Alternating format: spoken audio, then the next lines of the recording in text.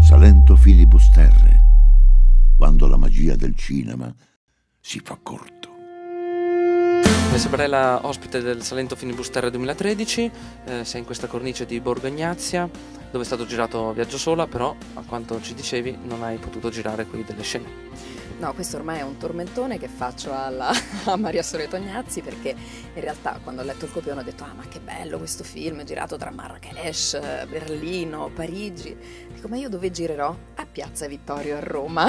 Per cui adesso gliela sto facendo pagare, quindi ogni volta che facciamo la promozione di questo film e ci sono queste occasioni io pretendo di esserci e mi sono già innamorata di questo posto almeno questa, questo festival è un'occasione, insomma, almeno per, per, entrare anche tu in questo spazio magico, bianchissimo di Borgo Ignazia. Quali sono le tue sensazioni anche eh, prima di andare anche sul palco questa sera? Ma guarda, la sensazione è di tranquillità, cioè, proprio oggi dicevamo appunto con Margherita, con Fabrizia, eh, che dormiamo, mangiamo, eh, c'è veramente un'atmosfera di pace. Credo che sia anche l'ubicazione fortunata, appunto.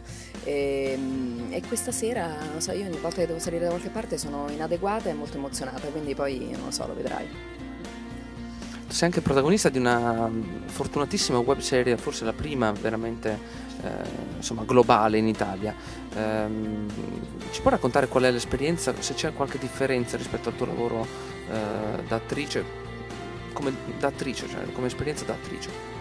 Allora, guarda, intanto c'è in realtà un collegamento tra Viaggio Sola e Una mamma imperfetta perché c'è sempre Ivan Cotroneo come sceneggiatore, anche se nella Mamma Imperfetta è, è anche regista.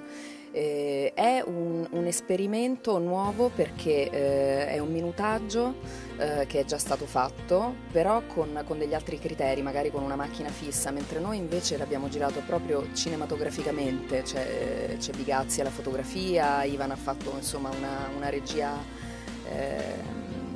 veramente come se fosse un piccolo film, per cui no, non ho trovato in realtà differenze, forse semplicemente la velocità, nel senso che abbiamo avuto un tempo ristretto per, per farla e quindi correvamo un pochino, ma questo può assomigliare anche un pochino alle, alla lunga serialità. Io con Ivan avevo già lavorato in Tutti i pazzi per amore, per cui mi piace molto tra l'altro la sua scrittura.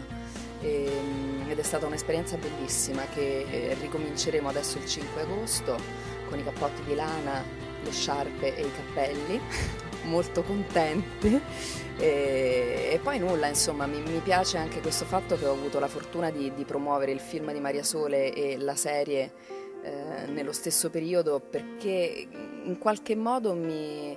Eh, per me è come far parte di, di un progetto che ha comunque qualcosa in comune non soltanto per Ivan ma anche perché è un argomento che tratta le donne, la maternità, eh, personaggi femminili corposi finalmente molto raccontati, quindi l'universo femminile interessante finalmente affrontato insomma come si deve. Ecco, tu hai accennato questa um, novità dell'universo femminile raccontato in questo modo. Viaggio sola ne è un esempio eh, lampante. Eh, pensi che stia something is, changing, eh, stia cambiando qualcosa anche magari in quello che leggi di sceneggiature, nei progetti che ti vengono offerti? Guarda, io credo di sì, anche perché un, un pochino noi italiani siamo un po' un, un gregge, nel senso che basta che uno appunto ha il coraggio di fare la mossa e poi molti seguono. Comunque quest'anno Valeria Golino con miele, ma insomma anche a parte il nostro, insomma ci sono state eh, sceneggiature che ho letto dove finalmente la, il personaggio della donna vive di luce propria e non sempre al servizio del personaggio maschile. Poi insomma mh, non è che non bisogna raccontare la coppia, non bisogna raccontare, però ecco che ci sia magari una, un equilibrio forse diventa tutto più interessante. Comunque secondo me sì, qualcosa sta cambiando anche eh, il fatto che ci siano eh, piano piano delle registe donne che si stanno affermando.